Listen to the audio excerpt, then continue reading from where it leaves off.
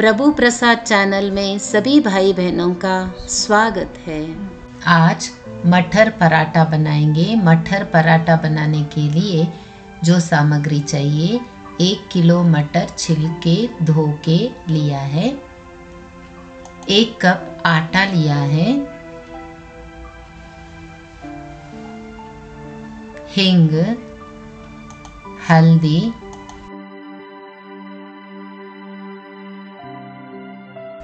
लाल मिर्ची पाउडर।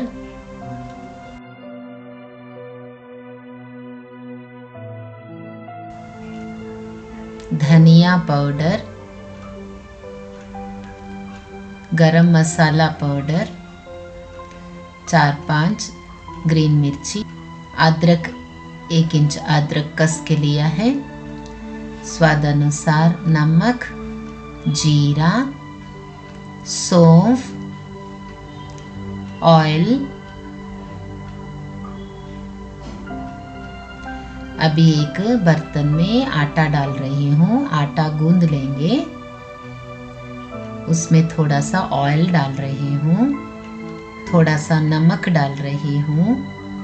इसको अच्छी तरह से मिक्स कर लेंगे। थोड़ा थोड़ा पानी डाल के आटा गूंद लेंगे। देखिए ऐसा। अभी इसको थोड़ा सा तेल लगा करके गूंदने से बर्तन में नहीं लगता है। देखिए कितना अच्छा आटा गूंद गया है। इसको थाली बंद करके रख देंगे। अभी एक मिक्सर जार में जीरा डाल रही हूँ। सौंफ,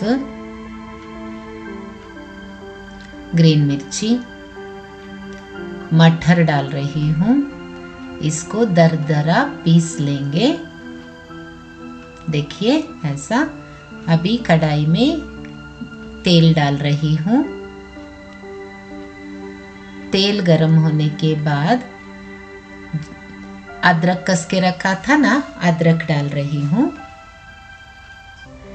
ये पीस के रखा था ना मटर, उस मटर को डाल रही हूँ। हल्दी डाल रही हूँ, धनिया पाउडर, लाल मिर्ची पाउडर हिंग, गरम मसाला, नमक स्वाद अनुसार नमक। अभी इसको अच्छी तरह से मिक्स कर लेंगे।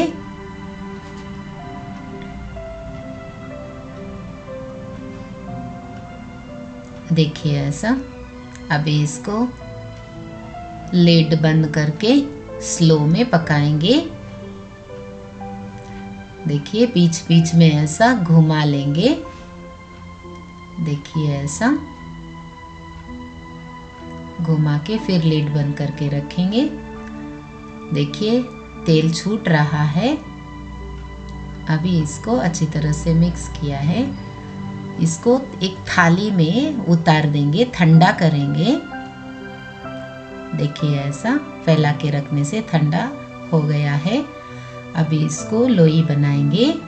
देखिए, ऐसा।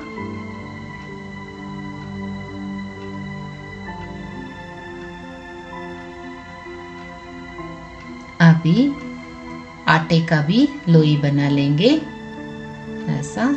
देखिए, एक लोई लेकर के कटोरी के जैसा इसको हाथ से ही ऐसा करेंगे। देखिए, मैं और एक भी दिखाती हूँ। इसमें मसाला रखेंगे। देखिए, ऐसा मसाला रख के चारों ओर इसको बंद कर लेंगे। बंद करके आटे में आटा लगा के इसको बेल लेंगे। पूरी के जैसा बेल लेंगे। देखिए, अभी तवा गरम हो गया है। तवे पे डाल रही हूँ।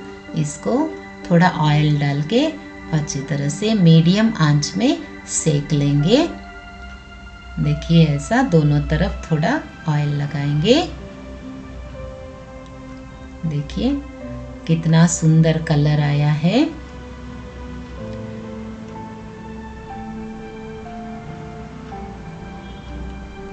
देखिए मीडियम आँच में करने से जलेगा नहीं, आराम से कर सकते हैं। देखिए, कितना सुंदर कलर आया है। अभी इसको निकाल देंगे। अभी दूसरा भी मैं दिखाती हूँ, देखिए। आटे का लोई लेके ऐसा कटोरी जैसे बना के उसमें मसाला रखेंगे और मसाला सारा बंद कर देंगे ऐसा। बंद करके आटा लगा के इसको बेल लेंगे। देखिए ऐसा।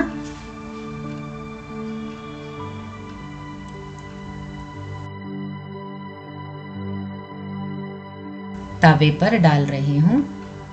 देखिए, एक तरफ़ होने के बाद घुमा के फिर तेल लगा के, जैसे पहले। देखिए, कितना सुंदर कलर आया है। टमाटर चटनी के साथ बन गया है। मटर पराठा बन गया है। अभी इसको सर्विंग बाउल में निकाल रही हूँ। देखिए, कितना सुंदर है, बहुत सहज है बनाना। टमाटर चटनी के साथ मटर पराठा खिला सकते हैं। मटर पराठा रेडी।